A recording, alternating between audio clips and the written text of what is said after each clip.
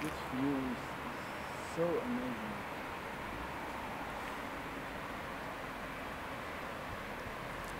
Go slowly, slowly, slowly, slowly.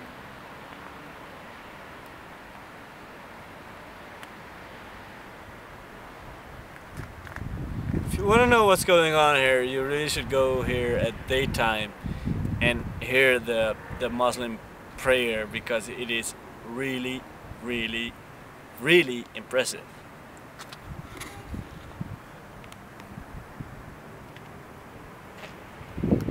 We climbed up all the way to the citadel to see all the green minarets, but there are so few to see because of the many hills of Amman.